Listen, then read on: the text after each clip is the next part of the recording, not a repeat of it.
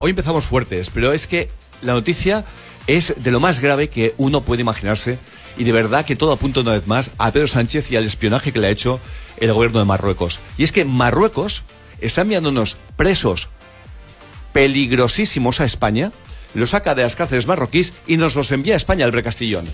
Sí, sí, así es. Y desde hace dos años llevamos más de 20.000 enviados.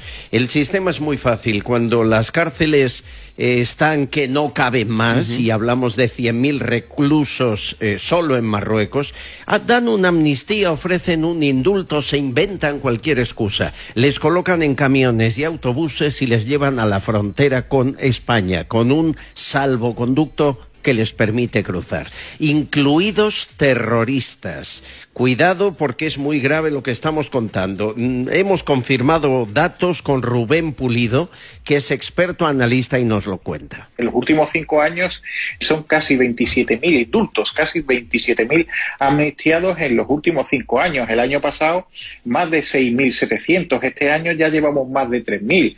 En los indultos incluso eh, condenados por terrorismo, ¿eh? que según el régimen pues muestran un arrepentimiento y por eso les dejan eh, salir de de, prisión.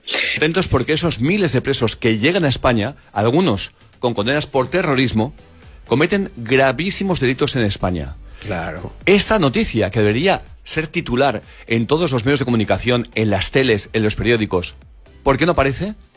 Por el dinero institucional que paga el gobierno a esos medios de comunicación. Eso es lo grave.